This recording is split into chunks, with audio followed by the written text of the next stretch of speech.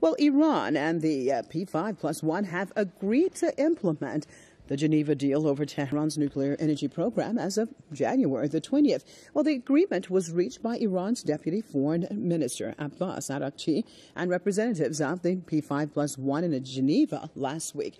Well, an Iranian source has told Iran's government news agency that the P5 plus one will begin to ease economic sanctions on Iran following the implementation of the Geneva deal. Iran's foreign ministry spokeswoman has confirmed that Tehran and the P5 plus one have agreed to implement the Geneva deal. Marzieh Afkham, however, condemned the anti-Iran comments of the French foreign minister, whose country is a member of the P5 plus one. Afkham says Iran has never sought nuclear arms and is basically opposed to the production and use of weapons of mass destruction. Right here in the studio, newsroom director, Mr. Hamid Reza Emadi. Uh, Mr. Emadi, tell us uh, what exactly does it mean? Now, it said that it's going to be implemented on January the 20th, 20th. One, what does it mean for Iran and what it has to do? And what does it mean for the uh, P5 plus one? Well, reaching the deal on November 24th was one thing. More importantly, uh, we are now going to implement the deal.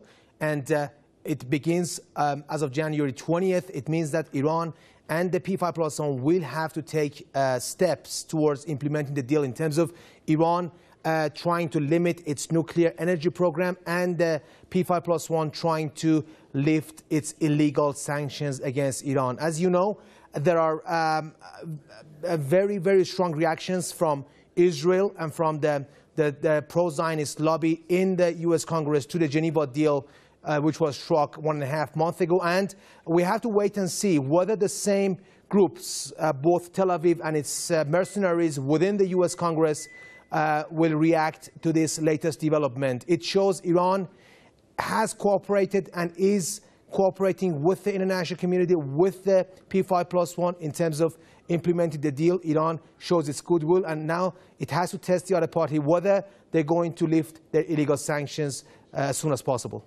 Well, we have breaking news actually right now, Mr. Emadi, at the bottom of the screen that uh, U.S. President Obama is uh, has uh, welcomed the agreement uh, to be implemented implemented with Iran.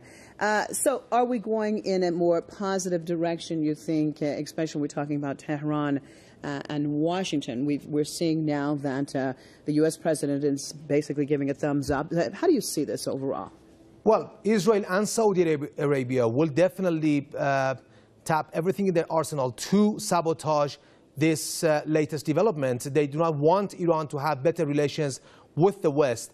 Uh, President Barack Obama has said before that it is against anti-Iran sanctions in the Congress, but you see uh, more and more senators, more and more congressmen are now joining the anti-Iran effort by uh, uh Senators uh, Bob Menendez and, um, and Kirk.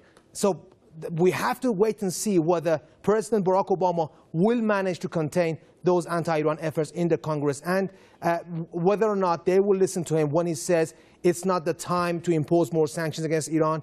It's time. It, we have to give chance to diplomacy with Iran. All right. Thank you so much. Press TV's uh, newsroom director, Mr. Hamid Reza Emadi.